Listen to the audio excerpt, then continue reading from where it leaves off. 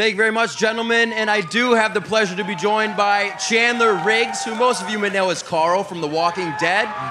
Chandler, I got to start off, man. How's the PAX experience been? What's been a highlight? It's been awesome. It's been so cool. It's my first time at PAX, too. And we've got front row seats, and it's awesome being here, and it's so much fun. All right, well, it was going to be my third question, but I guess everybody can see. Who's the favorite team you got going here?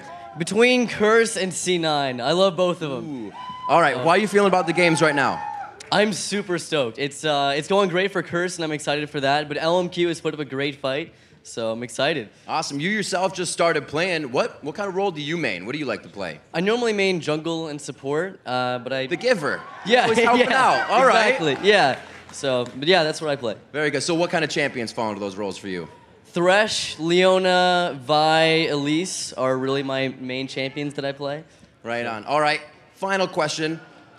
When you started streaming, obviously it got a lot of publicity. Your friends were freaking out on the backside of you that were like, you guys are talking to Odd One. But then everybody on TSM and in their chat were freaking out like, they're talking to Chandler Riggs. what was that experience like to It see was- like, you know, uh, somebody you love and as, that, as well, them just seeing you and being like, oh my gosh, this is actually happening right now. Oh man, it was insane. It was like my third time streaming ever, and I had like 30,000 people watching me, and I was playing with all these insanely famous LCS players, and it was just the craziest experience.